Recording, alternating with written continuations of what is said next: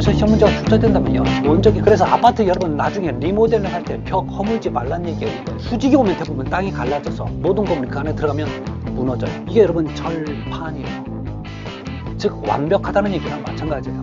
자 그래서 여러분 이번 시간은 여기까지 하도록 하겠습니다.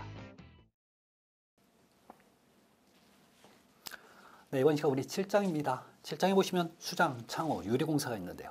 자, 수장이라는 얘기는 여러분 실내 어떤 마감 이렇게 보시면 돼요. 그래서 천장, 벽, 바닥을 마감하는 일을 수장이라고 얘기합니다.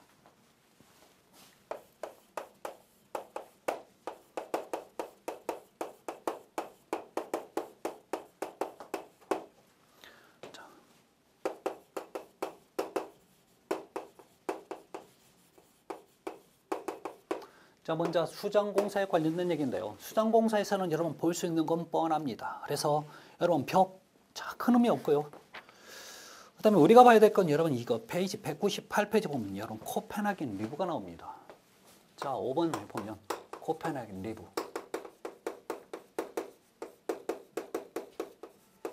일반적으로 많이 쓰이지는 않지만 얘는 특수한 목적 때문에 쓰는 겁니다. 자, 그래서 우리 교재 보면 여러분 코펜 리브에 단면이 나와 있죠. 자, 그래서 단면을 보면 여러분 그 형태가 꼭 교재에 있는 것처럼은 한게 아니라 저는 이런 걸 많이 시공을 했었어요, 현장에서. 자, 그러면 이것을 딱 붙여서 하는데 주로 벽에다 많이 붙이는데 소리가 여기 오면요. 그대로 반사되는 게 아니라 여기에 경사지니까 소리가 왔다 갔다. 결국은 이 소리를 빨아먹는 거예요. 그래서 이 코페난 리뷰는 소리의 울림, 공명 현상, 공명, 즉 울림 현상을 제거하는 목적으로 사용됩니다. 자, 그래서 주로 어디에서 쓰냐라고 물어보면 여러분 울림이 안 되는 데 있죠. 음. 그래서 뭐 회의실이라든지 또는 극장 또는 방송국 이런 데에서 주로 많이 쓰는 게 여러분 코펜하기 리브입니다. 그래서 얘는 소리를 빨아먹는 흡음 재료가 되는 거죠.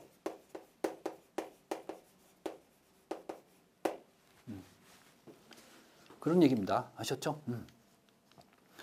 자, 그래서 그 용도 확인하시면 됩니다. 그 다음에 밝게 여러분 페이지 199페이지 보면 여러분 차음과 방음에 관련된 얘기가 나옵니다. 그래서 차음과 방음의 어떤 개념적인 얘기를 여러분 좀 한번 보셔야 되는데 차음과 방음을 간단히 좀 한번 보도록 할게요. 자, 우리 교재 페이지 199페이지 보시면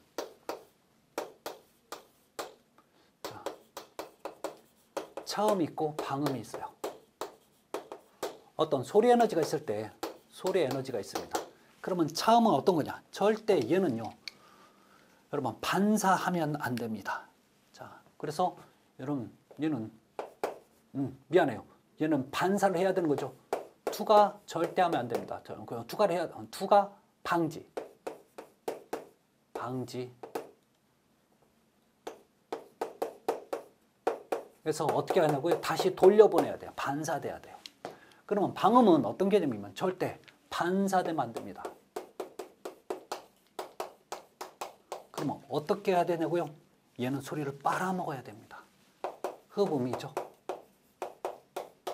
그래서 대표적인 재료를 보면 이 차음 재료는 철판이라든지 유리, 뭐 타일, 콘크리트 면 또는 미장된 면 이런 거 여러분 처음 재료가 되는 거죠. 그런데 방음 재료는 방금 얘기하는 저 코펜하겐 리버라든지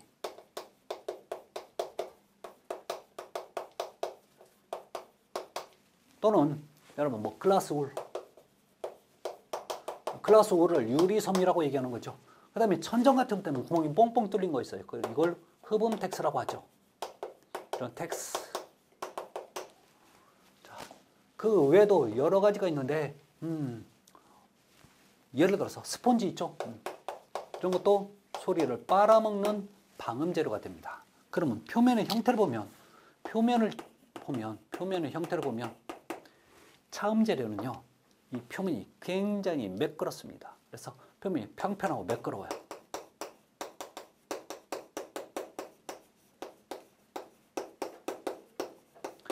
그런데 방음 재료는 표면이 굉장히 거칠고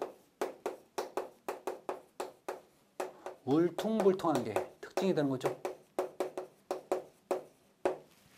그래서 주로 차음제는 구조용으로 많이 사용하면 되고 자, 방음제는 시장 또는 이 자체가 장식이 되는 거죠. 장식용으로 사용이 되고 있죠. 그래서 차음과 방음 구분하셨으면 좋겠습니다. 자, 그 다음에 봐야 될 건 여러분 큰 의미는 없는데요. 자, 우리 교재 보면 200페이지 보면 여러분 합성 고분자기의 바닥 타일이 나옵니다. 합성 고분자기의 바닥 타일 하면 여러분 바닥을 타일은 붙이는데 이번 플라스틱 타일 있죠. 그게 여러분 지금 합성 고분자기의 바닥 타일이라고 얘기합니다. 그래서 자, 그 정도는 여러분 한번 봐주시기 바랍니다. 그 다음에 나오는 게 여러분 도배공사도 큰 의미는 없는데 도배공사 어, 잠깐만 한번 보도록 할게요. 도배공사입니다.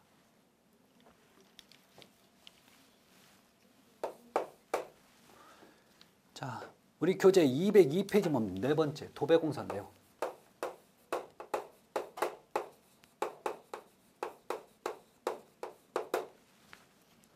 자, 이 도배공사에서 다른 거 없습니다. 기본적으로 우리가 봐야 될 게 뭐 풀 및 접착제를 먼저 한번 보도록 할까요? 자, 1번 종이 천 붙임용 풀은 공사 시방서에 정한 바가 없을 때는 밀가루 풀 또는 자, 쌀가루 풀을 쓴다고 나와요. 자, 요 풀을 쓸 때는 밀가루나 또는 쌀가루로 된 풀을 쓰라는 얘기죠. 자, 그런데 두 번째 얘기 보면 자, 풀은 된 풀로 한다 물을 적, 섞어 적당한 물기로 체에 걸러 쓴다고 나옵니다. 얘는 체에 걸러 써요. 세 번째. 자. 세 번째 번 정벌 붙임 또는 정벌 밑분치 또는 창호제 쓰는 풀은 백색의 맑은 백색 맑은 풀을 사용합니다. 네 번째. 자, 풀은 필요할 때 방부제를 썩지 않게. 여러분, 얘는 방부제를 넣어 쓰라고 나옵니다.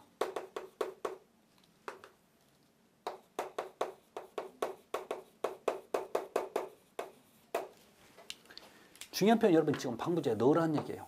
대부분 방부제는 넣지 말라는 게 우리 상식적이죠. 근데 얘는 왜 넣으라고요? 쌀가루, 밀, 밀가루 또는 쌀가루이기 때문에 벽지 뒤에 잘못하면 습기로 인해서 곰팡이가 발생될 수 있어요. 이 그래서 이 곰팡이 때문에 또 벽지가 까맣게 또 올라오는 거죠. 그래서 곰팡이 방지 목적으로 하는 게 방부제를 넣으라는 얘기죠. 음. 그다음에 얼음풀은 쓰지 않는다. 자, 그래서 너 쓰고 얼음품 사용을 금지하죠. 자, 그런 얘기였습니다. 그래서 나머지 한번 쭉 보시면 큰 문제는 없습니다. 자, 다음에 시공식 주의사항 한번 읽어봐 주십시오. 자, 똑같은 얘기가 또 나오고 있으니까요. 그 다음에 여러분 계단은 큰 의미는 없습니다. 그래서 계단은 보실 필요 없어요. 자, 그러면 우리 교재 페이지 205페이지 좀 잠깐 볼까요? 자, 205페이지 보시면 창호공사가 나옵니다.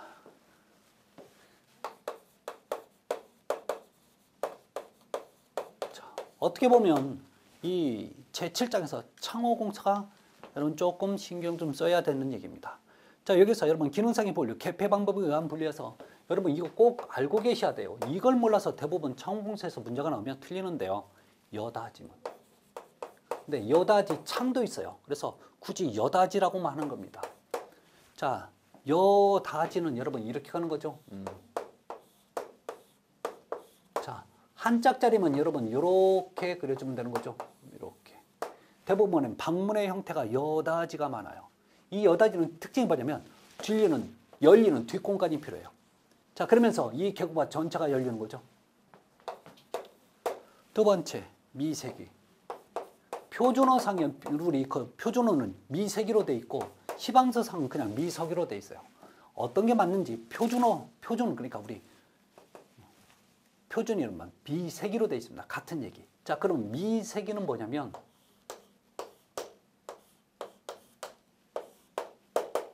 이렇게 돼 있어요. 얘는 열리면 다 열리는 게 아니라 50%밖에 안 열리는 거죠. 그래서 주로 미세기 같은 경우는 출입이 빈번하지 않는 곳 또는요 주로 채광 또는 환기의 목적으로 많이 쓰는 게 바로 미색입니다. 세 번째, 미닫이. 자, 미닫이는 대부분 문 형태로 많이 쓰이죠. 자, 그래서 요 문이 이렇게 있으면 옆으로 가는 거죠. 그래서 어떤 경우에 여러분 포켓이 있고 어떤 데는 포켓이 없는 경우도 있어요. 그래서 문이 옆으로 가는 게 보이는 거죠. 대표적으로 미닫이 같은 데는 여러분 승강기 또는요 지하철문 아니면 우리 현관 입구에 가면 센서로 해서 쭉 열리는 문들 있죠. 이런 데 보면 대부분 미닫이 형태로 되어 있죠. 자, 네 번째 회전문 그러고 하나만 더 갑니다. 여러분 자재문이 있어요. 이 자재문의 형태를 좀 보셔야 되는데 자재문은 여러분 대부분 이런 거죠. 자, 두 짝짜리를 그려볼까요? 쌍자재문이 되는 건데 문이 이렇게 열리는 거죠. 즉 여닫이는 내가 원하는 한쪽 방향으로밖에 안 열리지만 여, 자재문은요 양쪽이죠. 그래서 자재는 어디서 나왔다고요? 자유자재 맘대로잖아요. 그래서 자 들어갈 때 밀고 들어가거나 아니면 잡아당기고 들어갈 수 있는 문 이게 바로 자재문의 형태입니다. 아셨죠? 자 그다음에 오르내리기 창인데 여러분 사실 오르내리기 창이 미세기를 세워놓으면 오르내리기 창이 되는 거예요. 눕혀놓으면 미세기가 되는 거고. 그런 목적입니다. 그 다음에 자 그래서 다른 건 몰라도 요거 요거 꼭 좀 잘좀 봐주십시오. 그다음에 양판문 우리 교재 페이지 206페이지 보면 양 구조의양 분류해서 양판문이 나와요.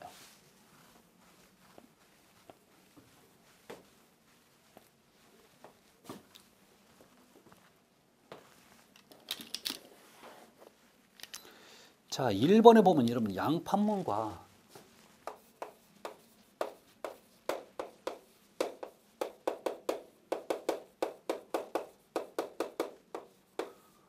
플러시 문이 나오는데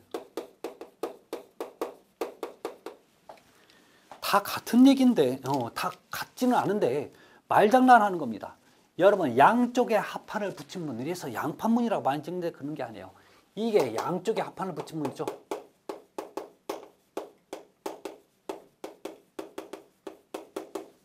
그래서 여러분 대개 방문이 대부분 플러시 문입니다. 그러면 양판문은 양판이란 얘기는 넓은 판이란 뜻이에요. 그래서 넓은 판을 가지고 유리끼 한 장으로 만들어진 문 이게 바로 양판문이라는 거죠. 제대로 대부분 나무로 만드는 겁니다. 그래서 자 요거 두 가지 여러분 꼭 좀 정리를 하시기 바랍니다. 그 다음에 나오는 게 이제 뭘 좀 봐야 되냐면 여러분 우리 창호에 관련된 얘기인데요. 창호. 자 우리 철제 창호는 나올 일이 없을 겁니다. 그러면 어떤 창호가 나오냐면요. 여러분 알루미늄 사시가 나와요. 알루미늄 사시. 자 우리 교재 페이지 210페이지 좀 봅니다.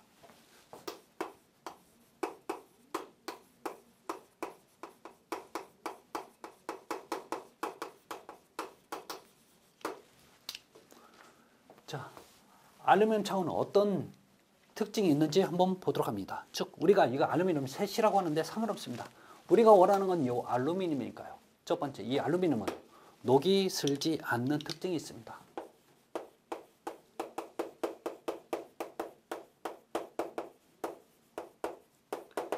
자, 이렇게 녹이 슬지 않는다는 얘기는 얘는 내구성, 내식성이 또는 수명이 길다 또는 크다라는 표현을 쓰는 거죠. 자, 녹이 슬지 않습니다. 두 번째, 이 알루미늄은요, 알칼리에 약합니다.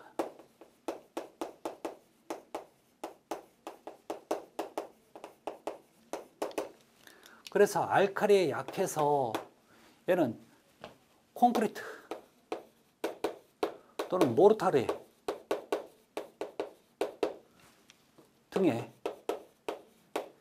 직접 접촉을 금지하죠. 절대 하면 안 돼요. 절대.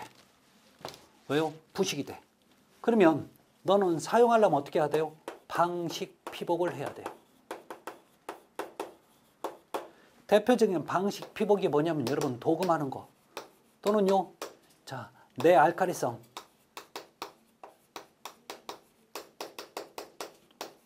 도장을 해버리는 거죠. 페인트 칠하면 되는 거죠. 이게 방식 피부예요. 세 번째, 얘는 어떤 충격과 열에 약합니다.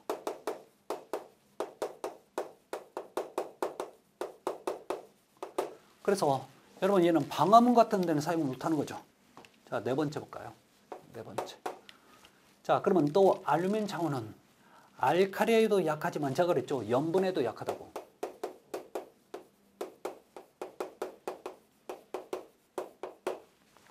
이런 특징을 갖고 있는 게 지금 알루미늄 창호입니다. 그래서 자, 우리 교재 어, 하나만 더 볼까요? 어, 글 잃어버릴 뻔했네.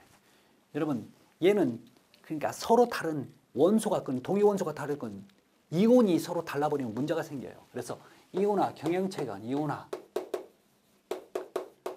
경향차이 그한 부식이 발생됩니다. 그러면 너 어떻게 하라고요? 이온화 경향차이 부식이 발생되면 여러분 다른 재료와 연결시키면 안 돼요. 그래서 항상 동질의 같은 재료에 재료만 사용합니다. 사용을 해야 돼요. 자, 또 하나, 얘는 굉장히 가볍죠. 그래서 얘는 기본적으로 음, 철에 비해서 철에 비해서 무게가 비중이 철의 약 3분의 1 정도밖에 안 돼요. 비중이 3분의 1이라는 얘기는 그만큼 굉장히 가볍다라는 얘기입니다. 자, 그러면 가벼우면 뭐가 좋냐? 가벼우면 만들자는 문이나 또 창으로 만들면 왔다 갔다. 그래서 자, 이동이 또는 여다듬이 굉장히 경쾌하죠. 또 이렇게 가벼워서 여러분 공작이 자유롭죠. 만들기가 쉽다라는 얘기입니다. 또 만들기가 쉬우면 또게 뭐냐면 기밀성이 굉장히 좋아요. 자, 비도 또는 바람도 이게 잘 안 들어오는 거죠. 기밀성이 우수한 특징을 가지고 있는 게 자, 이렇게 알루미늄 창호입니다. 그래서 여러분 알루미늄 창호는 이런 정리를 좀 하셔야 됩니다. 음. 자, 그 다음에 봐야 될 게 여러분 지금 우리 교재 211페이지 보면 알루미늄 창호의 일반 사항입니다. 이게 지금 시방시에 나오는 개념이니까 한번 어떤 내용이 있는지 보도록 할게요. 자, 1번 단면의 형성가 지수의 허용 오차 범위는 0.5mm로 하며 부재 두께는 1.35mm로 한다. 그래서 이게 단면의 형상과 지수 나와 있는 거죠. 그래서 자, 페이지 210, 211페이지 5번 호. 자, 알루미늄 창호의 일반 사항입니다.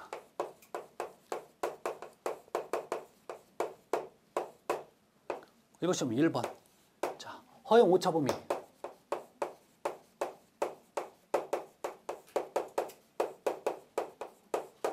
몇 미리 이내라고요? 플러스 여기 보면 0.5mm 안에서 되어야 된다는 얘기입니다. 두 번째, 알루미늄 합금제 청호에 상대는 부재 및, 부, 부재 및 부속품은 재질이 다른 재료를 사용할 경우에는 접촉부에 의한 부식이 일어나지 않는 것을 쓴다. 그러면 얘는 요 얘기하는 거죠. 이온화 경향에서 문제가 생길 수 있어요. 예를 들어 볼까요?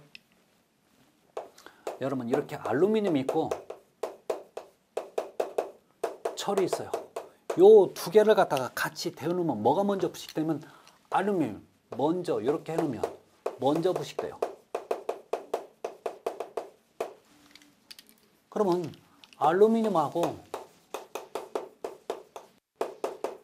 그 다음에 너 혹시 동 구리를 접촉을 시키면 또 뭐가 먼저 부식되면 얘가 먼저 부식돼요.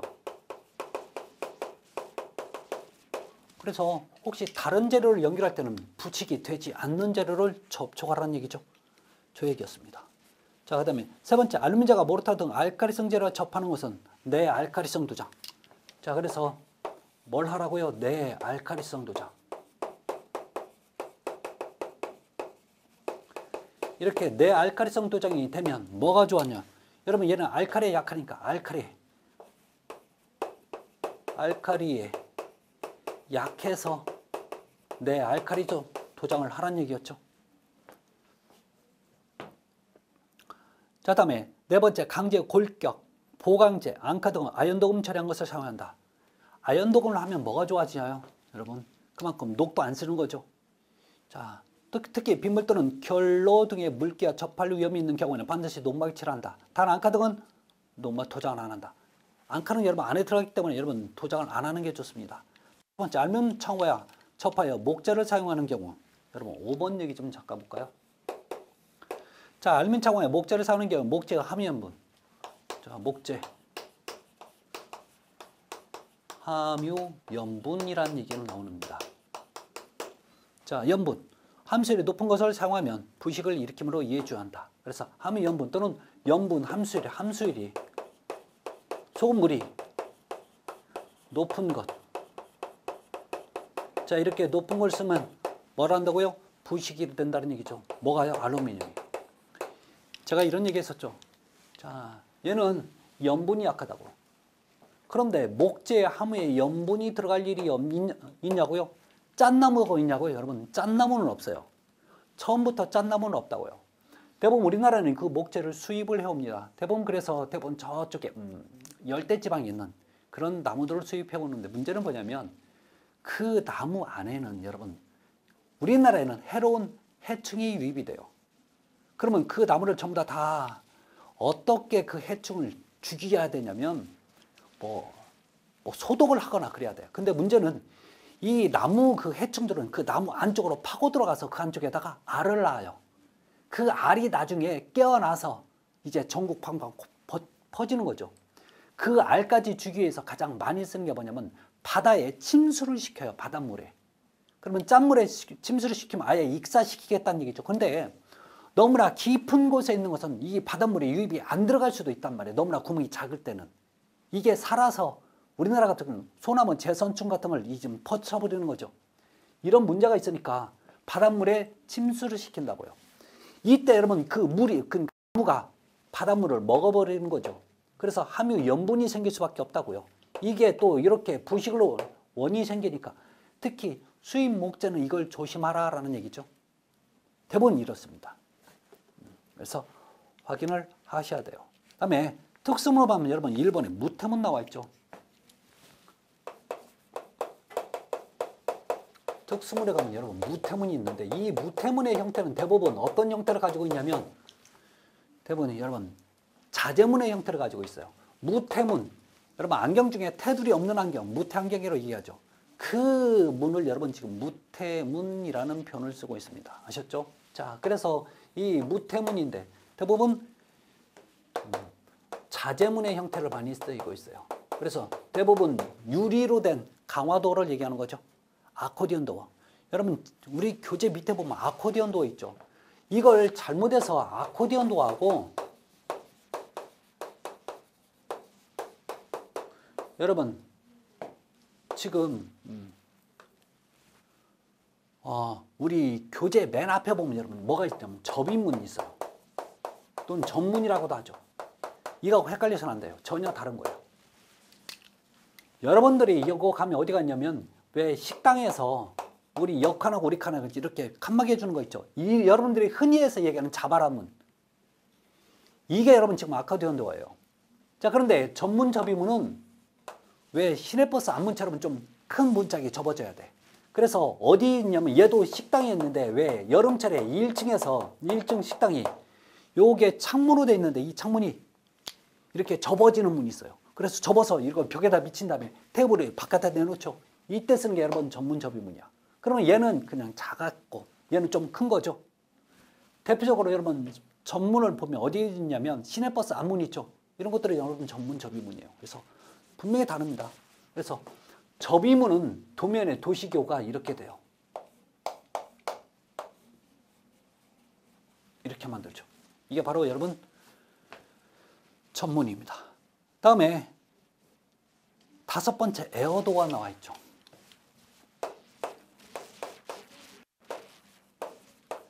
자, 이걸 우리가 흔히 에어 도어라고 얘기하면 에어 커튼이라고도 합니다. 그러면 얘는 어디에 쓰냐면 여러분 어떤 그 상점을 갔는데 그 문은 항상 열려져 있어요. 항상 열려져 있다는 얘기는 여름에는 그 냉기가 손실이 되고 겨울에는 온기가 손실이 될 수도 있는 거죠. 그래서 근데 여기서 또 손님이 왔다 갔다 하니까 문도 못 닫아. 이럴 때 여러분 위에서 바람을 보내줘요. 사실은 밑에서 위에서 같이 보내줘야 하는데 먼지가 있으니까 위에서만 보내죠. 그래서 그 바람으로 안에 있는 냉기나 온기를 차단하는 역할을 하는 거죠. 그래서 얘는 하는 목적은 다른 건 없습니다. 에너지 절약이죠.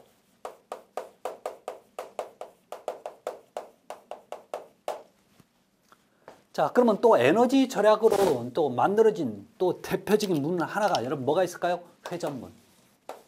이 회전문은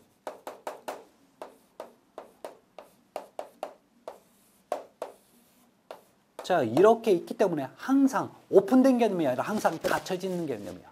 그래서 에너지 절약 또 하나 생각하면 여러분 회전문 이렇게 보시면 됩니다. 아셨죠? 그 다음에 주름문 사진 한번 볼까요? 주로 주름문은 어떤 용도로 쓰냐? 방법용으로 많이 쓰는 거죠. 음, 자, 저런 용도. 그래서 이런 얘기를 여러분 꼭 잊지 마시기 바랍니다. 아셨죠? 네. 그래서 자, 이번 시간은 여기까지 하도록 하겠습니다. 자, 그래서 다음 시간에 다시 뵙겠습니다. 감사합니다.